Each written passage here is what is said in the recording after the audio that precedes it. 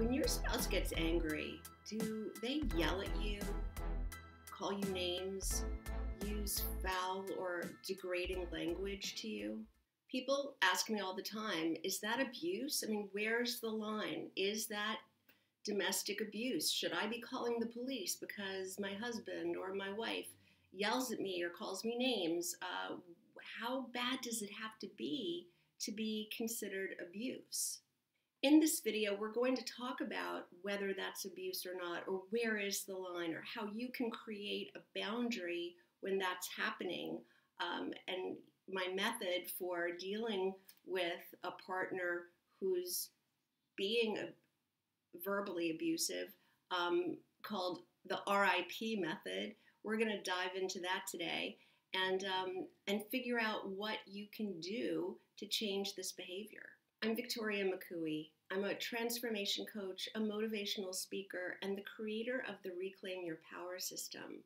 I help people every day in these situations who are dealing with abusive spouses um, and also people who are already engaged in divorces that become very contentious with a narcissistic spouse. So let's talk a little bit about domestic violence. I mean, I know a little bit about it because I worked for a decade as a volunteer helping victims of domestic violence. So I've been, had extensive training in this area.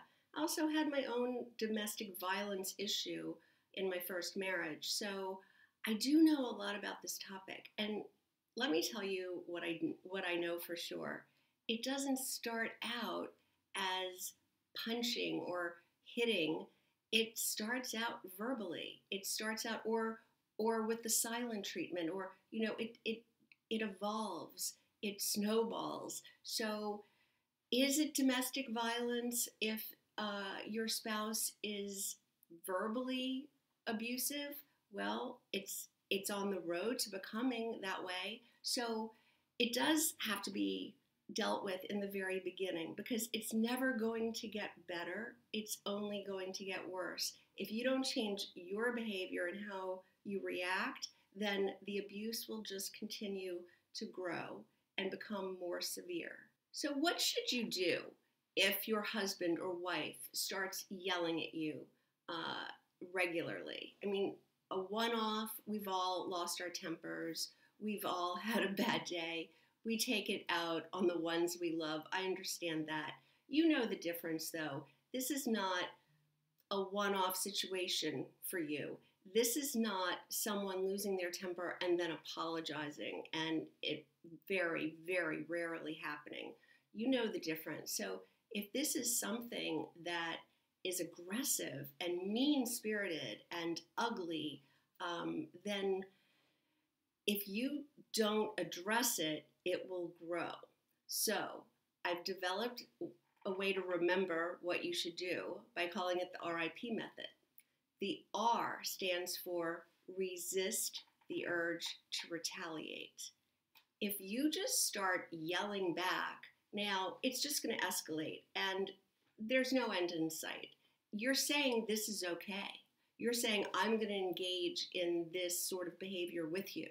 Um, I'm not only not going to try to stop you, I'm going to jump right in there. All right, so I know we all are tempted to fight fire with fire.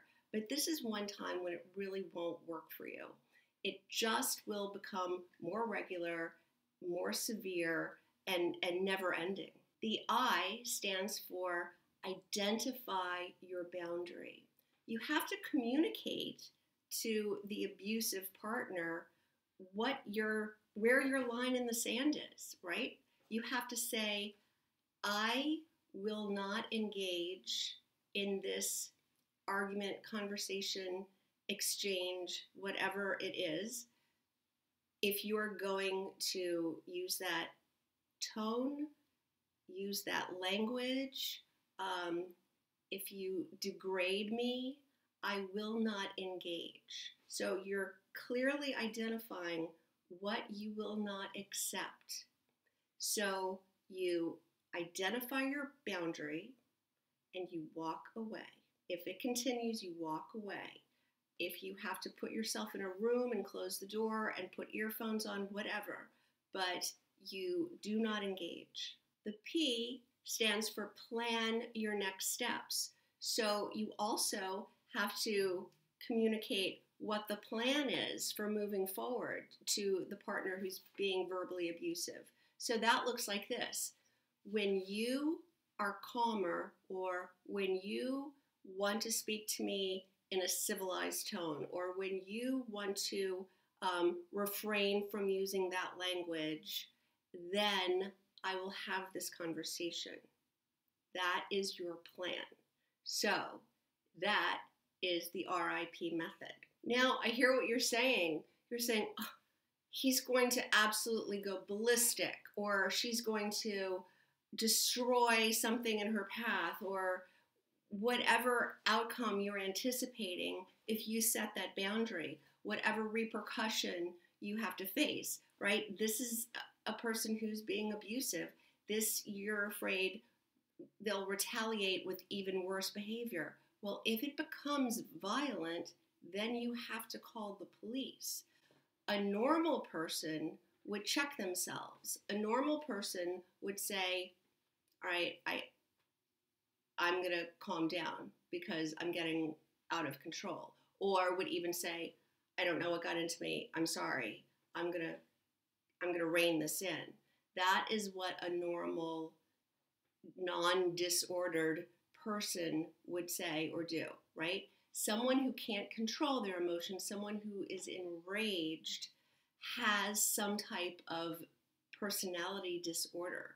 And you are not going to fix it by engaging in it. Um, so if that becomes the scenario, if that's what's going on, if it becomes a dangerous situation, then you need to call the police. And now I can just hear my clients' voices in my head saying, well, that, that's going to make him even madder. Well, that is not your fault. You have to protect yourself. So if he gets even madder because you call the police, then you call the police again. I mean, this can become a very serious situation um, and you need protection.